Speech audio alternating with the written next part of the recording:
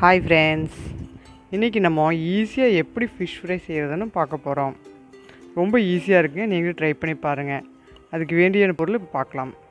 Three table spoon cornflour மாவு. அது நல்லா கோட்டிங் ஆகிறதுக்காக. அப்புறம் one tablespoon chilli powder red chilli powder போட்டுக்கோங்க. அடுத்து டர்மரிக் பவுடர் மஞ்சள் தூள் ஒரு ஆஃப் டீஸ்பூன் போட்டால் போதுங்க. அப்புறம் சால்ட்டு தேவையான அளவு போட்டுக்கோங்க. நல்லா கலந்துக்கங்க. எந்த தனித்தனியாக மிக்சிங் இல்லாமல் நல்லா கலந்துக்கங்க. இது கூட வந்து நீங்கள் இஞ்சி பூண்டு பேஸ்ட்டு போட்டுக்கலாம். லெமன் வந்து ஒரு ஆஃப் லெமனு கொஞ்சம் புழிஞ்சிக்கலாங்க.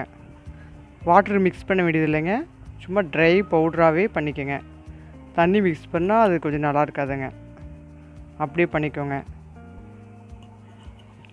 நல்லா கலந்து விட்டுக்கோங்க. இதுக்கு தேவையான மீன் வந்து என்ன மீன் பார்த்தீங்கன்னா நாங்கள் வந்து இன்றைக்கி கறிமீன் எடுத்துருக்கேங்க. கறிமீன் டேஸ்ட் வந்து ரொம்ப நல்லாயிருக்கும் அதுக்காக இவ்வளோ ஈஸியாக செஞ்சுருக்கோம். உங்களுக்கு வேறு எந்த இன்க்ரீடியன்ஸும் போட தேவையில்லைங்க. ஏன்னா கறிமீனில் இருக்கிற டேஸ்ட்டே செமையாக இருக்கும். அதுக்காக இது லைட்டாக போட்டால் போதுங்க. இப்போ நல்லா ட்ரை பவுடரை நல்லா கலந்து வச்சாச்சுங்க. நெக்ஸ்ட்டு மீனை ஏற்கனவே கழுவி வாஷ் பண்ணி நல்லா நீட்டாக வச்சுருக்கோம்.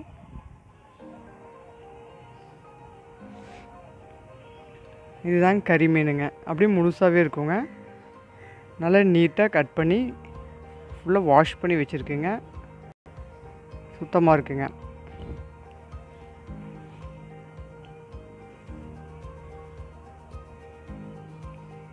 இதில் டேஸ்ட் இருக்கங்காட்டி தான் நம்ம எதுவுமே கூட ஆட் பண்ணாமல் சிம்பிளாக செய்கிறாங்க ஃபிஷ் ஃப்ரை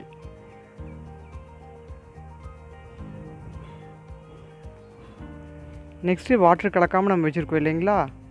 அது எதுக்குன்னா மீன் இருக்கிற ஈரத்தை பசையிலேயே அது வந்து நல்லா ஒட்டிக்குங்க. நல்லா உள்ள பேக் சைடு ஃப்ரண்ட்டு எல்லாமே நல்லா அந்த நம்ம கலந்து வச்சுருக்கிற மிளகாய்த்தூள் மஞ்சத்தூள் கார்ன்ஃப்ளவர் மாவு இஞ்சி பூண்டு பேஸ்ட் லெமன் எல்லாம் கலந்து வச்சது நல்லா கோட் பண்ணி வச்சுக்கோங்க.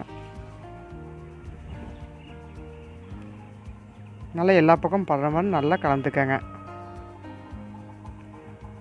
உங்களுக்கு எந்த அளவுக்கு வேணுமோ அதுக்கேற்ற மாதிரி நீங்கள் மசாலா கலந்து வச்சிட்டிங்கன்னா மீனுக்கு ஏற்ற மாதிரி யூஸ் பண்ணிக்கலாங்க. இது வந்து நீங்கள் வந்து ஒரு டூ ஆர் த்ரீ ஹவர்ஸ் நல்லா ஊறணுங்க. அதுக்கு நீங்கள் ஃப்ரிட்ஜில் வச்சுக்கலாம்.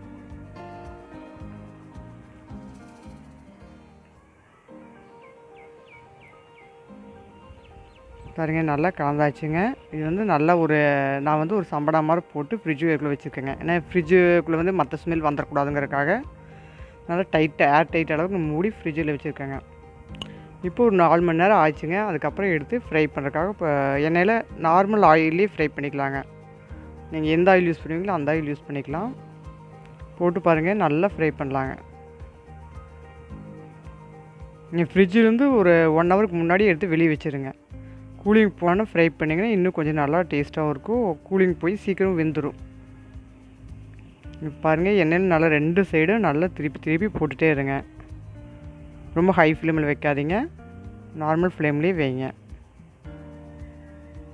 இப்போ கூட வந்து பார்த்திங்கன்னா நல்ல ஃபிஷ் ஃப்ரை பிடிச்சாச்சுங்க.